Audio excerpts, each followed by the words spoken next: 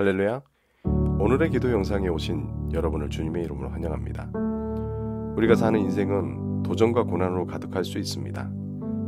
그러나 성도된 우리는 항상 우리와 함께 하시는 하나님을 의지할 수 있습니다. 이사야 41장 10절에 두려워하지 말라 내가 너와 함께 함이니라 놀라지 말라 나는 내 하나님이 됨이니라 내가 너를 굳세게 하리라 참으로 너를 도와주리라 참으로 나의 의로운 오른손으로 너를 붙들리라 우리가 어려움을 당할 때 하나님이 함께 하실 뿐 아니라 우리를 굳세게 하시고 우리를 도와 자신의 손으로 붙들어 주신다고 약속하십니다.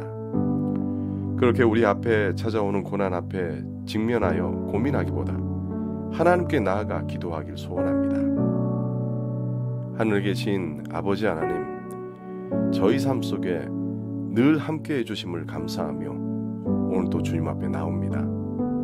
주님, 저희를 강하게 하시고 오늘 우리를 미혹하게 만들고 낙심하게 만드는 모든 도전 앞에 믿음으로 극복할 수 있는 용기를 주시옵소서. 아무리 세상이 불가능이라고 소리쳐도 주님이 우리와 함께하면 모든 것이 가능한 줄로 믿습니다. 그렇게 우리 앞에 어떤 고난이 올지라도 우리 주님만 의지하며 믿음으로 나아가게 하여 주시옵소서.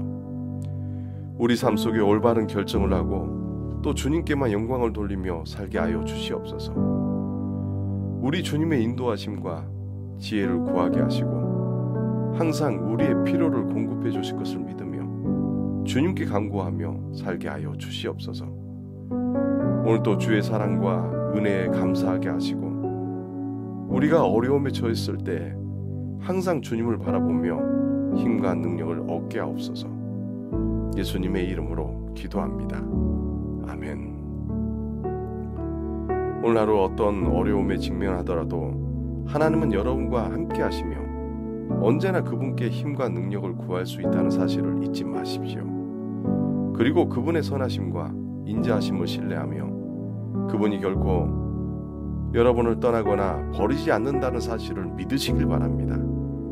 하나님께서 여러분에게 풍성한 은혜로 채워 주실 줄로 믿습니다. 여기까지 오늘의 기도였습니다.